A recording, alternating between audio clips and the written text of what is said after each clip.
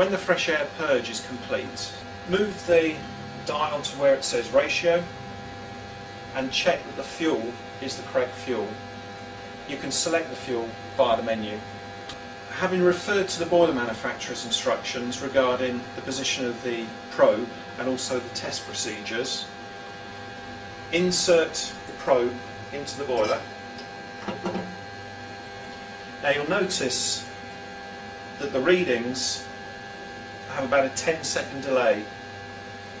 This is the time sample of flue gas to actually travel the length of the hose and be analysed.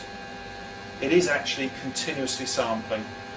When the readings have stabilised, typically after a minute or so, with the dial in the ratio position, you can check the actual CO CO2 ratio to four decimal places carbon monoxide readings in parts per million and the carbon dioxide or CO2 reading in a percentage. If you move the dial to the oxygen and efficiency position, it gives you the oxygen percentage. TF is the flue temperature reading in degrees C.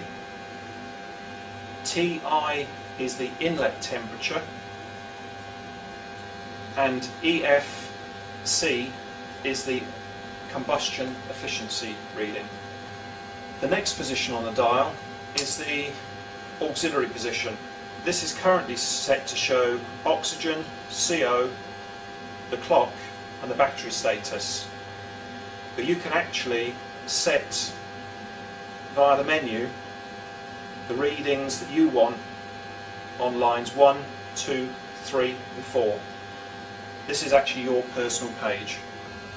When the readings are stable and you want to do a combustion printout, the rotary switch can either be in the ratio position, oxygen efficiency or the auxiliary position. Simply make sure your printer is switched on, press the send button. You must keep the analyzer and the printer lined up all the time that it says printing on the display. Combustion readings can also be logged by pressing the send button for two seconds. The log number is briefly displayed on the top line. These readings have been stored as log number 8. The memory can store up to 99 combustion readings. Logged readings can be viewed and printed via the menu. When you've finished your combustion tests, switch the instrument off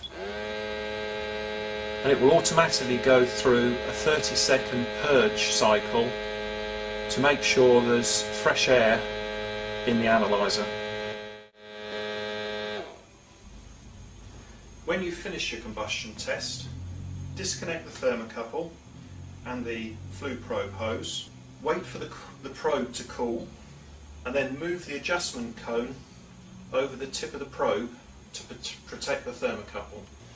Because during the tests moisture will have collected in the lowest point of the hose, it's important to actually wind the hose up so that any moisture drains out.